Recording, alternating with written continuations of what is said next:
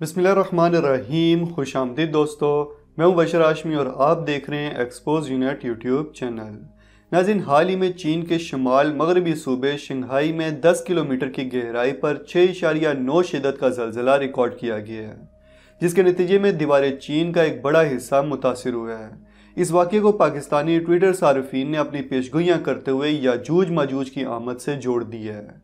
जो कि उनके ख्याल के मुताबिक दीवार चीन के अंदर रिहाइश पजीर हैं। दोस्तों, आज की वीडियो में हम इसी मौजू पर बात करेंगे कि क्या जिस दिन दीवार चीन मुकम्मल तौर पे गिर जाएगी, उस दिन याजूज माजूज दुनिया में ज़ाहिर हो जाएँगे। क्या ये सिर्फ़ एक कहानी है या आपको यकीन कर लेना चाहिए कि दीवार चीन के पीछे याजूज माजूज छुपे हुए हैं? और क्या ये वही अजीम दीवार है जो जुल्करनैन सलाम ने बनवाई थी? दोस्तों, एक मरतबा कुरैश मक्का ने अलैहि वसल्लम से तीन सवाल पूछे थे। पहला सवाल तो ये था कि इंसानी रूह की हकीकत क्या है? दूसरा सवाल असहाब कहफ की कहानी क्या है? और तीसरा सवाल उस बादशाह की कहानी बयान करें जिसने हज़ारों साल पहले पूरी दुनिया पर हुकूमत की थी। अल्लाह रबुल्ज़त ने सुरह कहफ में इन सवालात के जवाब नाजिल फरमाए और हज़रत जुल्करनैन का याजूज माजूज से मुतल वाक़ भी इसी सूरत में बयान फरमाया। अल्लाह रबुल्ज़त ने हज़रत जुल्करनैन को पूरी दुनिया की बादशाहत अता फरमाई थी। बनी नु इंसान की तारीख में अल्लाह रबुल्ज़त ने पूरी दुनिया की बादशाहत सिर्फ़ चार लोगों को अता की थी। इनमें से दो हुक्मरान मुसलमान थे और बाकी दो गैर मुस्लिम थे। इन चारों हुक्मरानों में से हज़रत सुलेमान सलाम और हज़रत जुल्करनैन सलाम मुसलमान हुक्मरान थे, जबकि नमरूद और बख्त नसर गैर मुस्लिम थे, जिन्हें पूरी दुनिया की बादशाहत अता की गई थी। हज़रतुल्करनैन सलाम के दौर में याजूज मजूज पहाड़ी इलाकों में रहने वाले दो जंगली कबाइल थे। वो बहुत जंगजू और वैशी थे।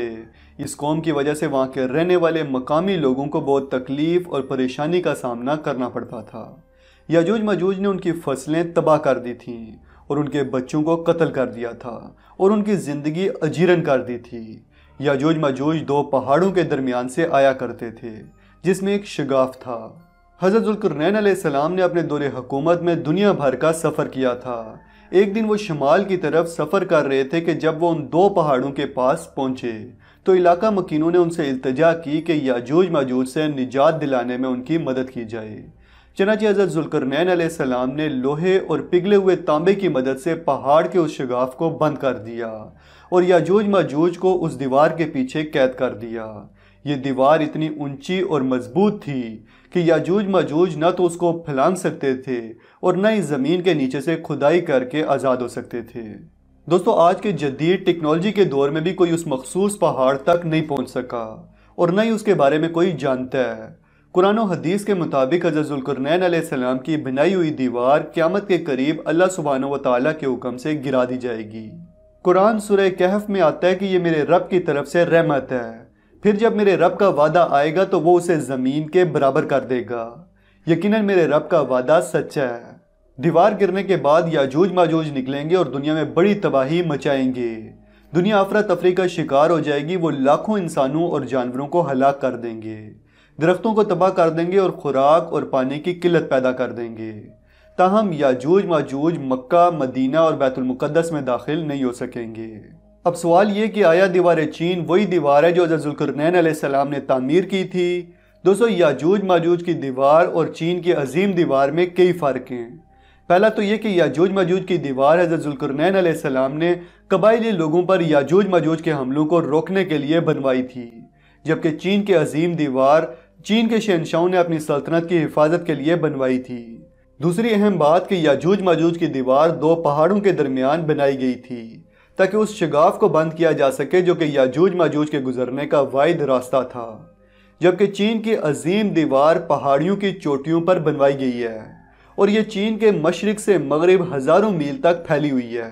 तीसरी बात यह कि कुरान की आयात के मुताबिक याजूज माजूज की दीवार की तमीर में लोहे और तांबे का इस्तेमाल किया गया था, जबकि दीवारें चीन की तमीर में पत्थर और ईंटें इस्तेमाल की गई थीं। याजूज मजूज की दीवार को उस वक्त तक नहीं गिराया जा सकता, जब तक क्यामत के करीब अल्लाह सुबहान व ताली का हुक्म ना आ जाए, जबकि दीवार चीन पहले ही कुछ जगहों से गिर चुकी है और लोग भी उसके अंदर आते और जाते हैं, यानी वहाँ पे विज़िट करते हैं। साल दर साल उस दीवार का कुछ हिस्सा तबाह होता रहता है और उनकी दीवार चीन की बार बार मुरम्मत भी की जाती है। बिलाशोबा ये दोनों दीवारें मुख्तलिफ़ हैं याजूज मजूज की दीवार कहाँ है? ये दीवार कब गिरेगी? इन तमाम बातों का इल्म सिर्फ़ अल्लाह रबुल्ज़त के पास है। यहाँ मैं आपको ये बताना भी ज़रूरी समझता हूँ कि याजूज मजूज के बारे में मुख्तलिफ़ नज़रियात मौजूद हैं। कुछ उल्मा का मानना है कि याजूज मजूज का ताल्लुक चीन से होगा। कुछ लोग मानते हैं कि याजूज मजूज रूस और यूरोप के लोग हैं। कुछ नज़रियात के मुताबिक याजूज मजूज दो मुख्तलिफ़ मखलूक़ हैं। जिनमें से याजूज आदम की औलाद में से होंगे, जबकि माजूज शयातीन यानी जन्नात की औलाद में से होंगे। बेशक अल्लाह ही सबसे बेहतर जानने वाला है। अब अगर आपको वीडियो अच्छी लगे तो वीडियो को लाइक, कमेंट और शेयर ज़रूर करें। मुझे इंस्टाग्राम पे फॉलो कर लें, क्योंकि वहाँ मैं वीडियो से रिलेटेड तमाम अपडेट्स देता रहता हूँ। मज़ीद वीडियोस के लिए हमारे चैनल एक्सपोज यूनिट को सब्सक्राइब कर लें और साथ में बेल आइकन पे भी क्लिक कर दें, ताकि हमारी वीडियोस आपको टाइम से मिलती रहें। जल्दी मिलते हैं एक नई वीडियो के साथ। तब तक के लिए अपना और अपने प्यारों का ख्याल रखिएगा। फ़ी मानिल्ला